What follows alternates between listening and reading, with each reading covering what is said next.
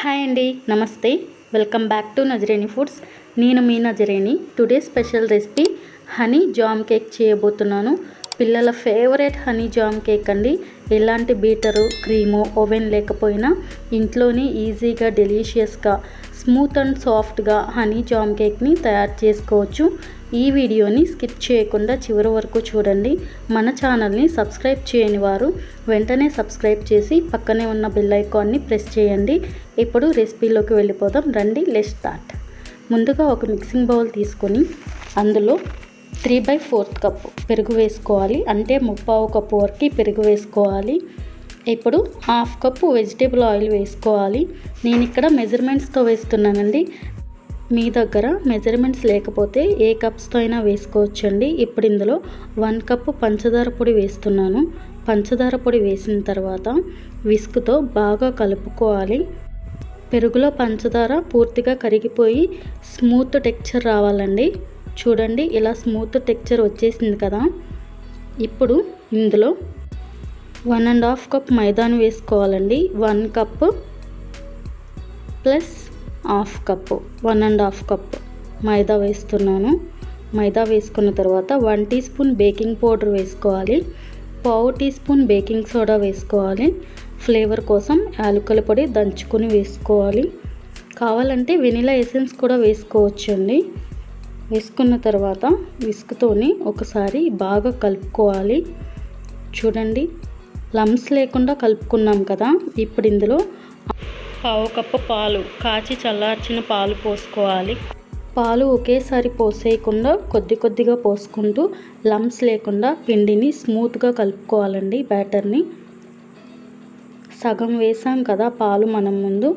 ఇప్పుడు మిగిలిన సగం పాలను కూడా వేసేసుకొని మళ్ళీ ఒక్కసారి బాగా కలుపుకుందాము. లమ్స్ లేకుండా కలుపుకోవాలి. స్మూత్ బ్యాటర్ అనేది స్మూత్గా రావాలండి. అప్పుడే మనకి కేక్ అనేది పర్ఫెక్ట్గా వస్తుంది. చూడండి ఇలా నేను చూపించే విధంగా స్మూత్ బ్యాటర్ రావాలి. ఈలోపు మనం ఈ బ్యాటర్ని పక్కన పెట్టేసుకుందాము.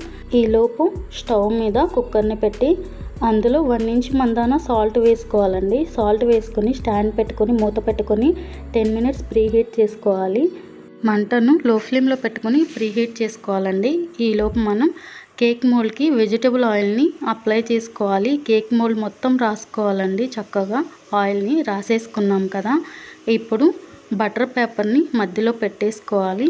మీ దగ్గర బటర్ పేపర్ లేకపోతే మైదాని చల్లుకొని బౌల్ మొత్తం స్ప్రెడ్ చేసుకుని పిండిని వేసుకోవచ్చండి. బటర్ పేపర్ పెట్టేసుకున్నాం కదా. మనం ముందుగా తయారు చేసి పెట్టుకున్న బ్యాటర్ని కేక్ మోడ్లో వేసేసుకుందాము. కేక్ మూడ్లో వేసుకున్న తర్వాత ఒకసారి బౌల్ని ట్యాప్ చేయాలండి. ట్యాప్ చేసాం కదా పైన చూడండి బబుల్స్ లాగా వచ్చినాయి కదా. ఇప్పుడు మనకి కుక్కర్ కూడా ప్రీ హీట్ అయిపోయింది. ఇప్పుడు కేక్ మోల్ని కుక్కర్లో పెట్టేసుకుందాము. ఇప్పుడు మూత పెట్టుకుని ముప్పై లేదా నలభై నిమిషాల పాటు కేక్ని బేక్ చేసుకోవాలి. మంటను మీడియం ఫ్లేమ్లో పెట్టుకుని బేక్ చేసుకోవాలి. ఈలోపు మనం జామ్ని తయారు చేసుకుందాము. ఒక బౌల్లో టూ టేబుల్ స్పూన్స్ ఫ్రూట్ జామ్ని వేసుకొని టూ టేబుల్ స్పూన్స్ పంచదార వేసుకోవాలి. త్రీ టేబుల్ స్పూన్స్ నీళ్ళు పోసుకోవాలండి. వాటర్ అనేవి మరీ ఎక్కువ పోయకండి. పోసుకున్న తర్వాత స్టవ్ మీద పెట్టి కరిగించుకోవాలి.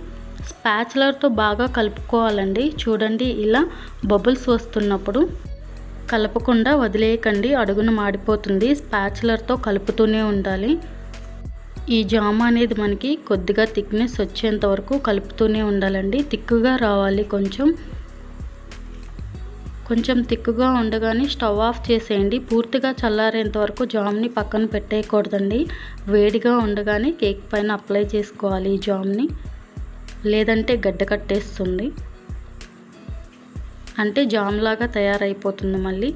ఈ జామ్ని స్టవ్ ఆఫ్ చేసి పక్కన పెట్టేసుకుందాము. ఈలోపు మనం ఒక బౌల్లో హాఫ్ కప్ అనీని వేసుకోవాలి తేనె వేసుకోవాలి త్రీ టేబుల్ స్పూన్స్ వాటర్ని గోరువెచ్చని నీళ్ళు పోసుకోవాలండి.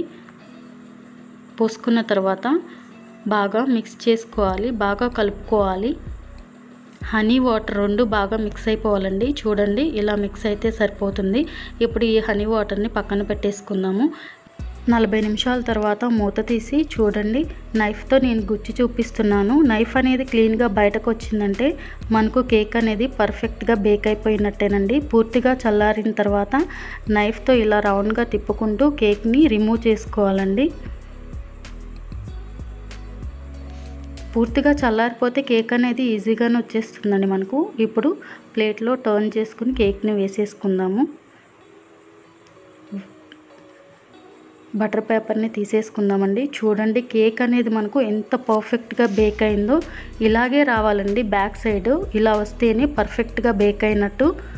ఇప్పుడు కేక్ని రెండో వైపుకి తిప్పేసుకుందామండి. తిప్పుకొని ఫోక్ స్పూన్తో ఘాట్లు పెట్టుకోవాలండి ఇలా. టూత్పిక్తో అయినా సరే ఘాట్లు పెట్టుకోవచ్చు. పెట్టుకున్న తర్వాత మనం ముందుగా తయారు చేసి పెట్టుకున్న హనీ వాటర్ని పైన కేక్ మొత్తం స్ప్రెడ్ చేసుకుంటూ రాసుకోవాలండి. చూడండి కేక్ మొత్తం అప్లై చేసుకోవాలి ఇలాగా. మరీ ఎక్కువ వేసేయకండి కేక్ అనేది మరీ ఇదిగా అయిపోతుంది. ఇప్పుడు దీనిపైన మనం ముందుగా తయారు చేసి పెట్టుకున్న జామ్ని వేసేసుకోవాలి. జామ్ వేసుకున్న తర్వాత నైఫ్తో కేక్ మొత్తం స్ప్రెడ్ చేసుకోండి ఇలాగా. జామ్ అనేది తిక్కుగా అయిపోతుందండి. ముందు పలుచగా ఉన్నా కొంచెం తర్వాత తిక్కుగా అయిపోతుంది. కేక్ మొత్తం అప్లై చేసేసుకోవాలి. చూడండి తిక్కుగా అయిపోయింది కదా జామ్ అనేది. మనం అప్లై చేసేలోపే తిక్కుగా వచ్చేసింది. వావ్ కలర్ఫుల్గా ఉంది కదండి. చూస్తుంటేనే నోరు ఊరిపోతుంది ఎమ్మి ఎమ్మిగా ఉంది. ఇప్పుడు నేను మీకు ఈ కేక్ని కట్ చేసి చూపిస్తాను. చూడండి. ఈ కేక్ని తింటున్నప్పుడు టూ ఫ్లేవర్స్ మనకు తగులుతాయండి. చాలా ఎమ్మీ ఎమ్మీగా ఉంటుంది. ఎంజాయ్ చేస్తూ తింటారు. తప్పకుండా ట్రై చేయండి. ఈ డెలిషియస్ అనే కేక్ని మీ పిల్లలకు చేసి పెట్టండి. చాలా ఇష్టంగా తింటారు. ఈ హనీ జామ్ కేక్ని మీరు ట్రై చేసి మీకు ఎలా కుదిరిందో నజరిని ఫుడ్స్ కామెంట్ బాక్స్లో కామెంట్ చేయండి. ఈ వీడియోని మీ ఫ్రెండ్స్కి మీ బంధువులకి షేర్ చేయండి.